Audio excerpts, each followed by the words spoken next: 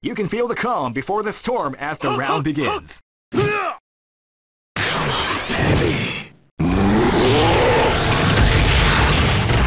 Come.